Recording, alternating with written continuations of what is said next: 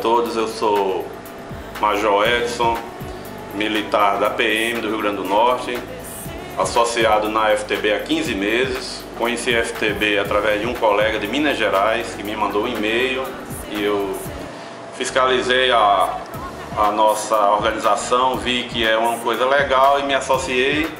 E hoje estou feliz, estou pagando minha carta de crédito, adquiri uma carta de crédito para um filho no valor de 50 mil, a minha no valor de 100 mil.